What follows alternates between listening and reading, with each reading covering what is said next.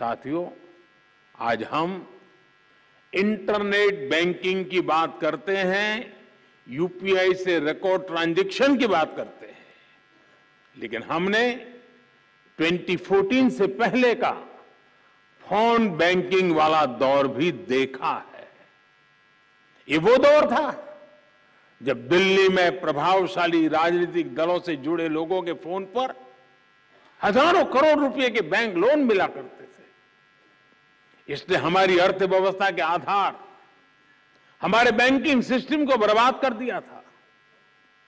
बीते वर्षों में हम बहुत मेहनत करके अपनी बैंकिंग सेक्टर को मुश्किलों से बाहर निकाल करके लाए हैं। फ़ोन बैंकिंग के उस दौर में कुछ लोगों ने बाईस हज़ार करोड़ रुपए देश के बैंकों के लूट लिए और विदेश भाग गए। हमने फिजिटिव इकोनॉमिक ऑफेंडर्स कानून बनाया।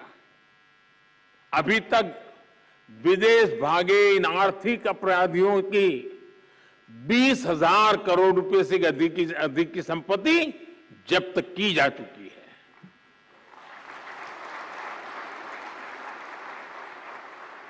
साथियों भ्रष्टाचारियों ने देश का खजाना लूटने का एक और तरीका बना रखा था, जो दशकों से चला आ रहा था। ये था सरकारी योजनाओं के लाभार्थियों से लूट। पहले की सरकारों में जो मदद गरीब लाभार्थियों के लिए भेजी जाती थी, वो बीच में ही लूट ली जाती थी। राशन हो घर हो स्कॉलरशिप हो पेंशन हो, ऐसी अनेक सरकारी स्कीम्स में असली लाभार्थी खुद को ठगया हुआ महसूस करते थे। और एक प्रधानमंत्री ने तो कहा था, एक रुपया जाता है, पंद्रह पैसा पहुँचता है। पचासी पैसों की चोरी होती थी। पिछले दिनों में सोच रहा था, हमने डीबीटी के द्वारा करीब 27 लाख करोड़ रुपए नीचे लोगों में पहुँचाया है। अगर उस हिसाब से देखता तो 27 लाख करोड़ में से करीब करीब 16 लाख करोड़ कहीं चले गए होते।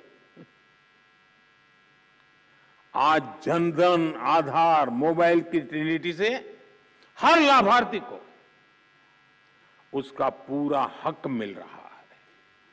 इस व्यवस्था से आठ करोड़ से अधिक फर्जी लाभार्थी सिस्टम से बाहर हुए हैं। जो बेटी पैदा नहीं हुई, वो विधवा हो जाती थी और विधवा पेंशन चलता था। डीबीटी से देश के करीब सवा दो लाख करोड़ रुपये गलत हाथों में जाने से बचे हैं।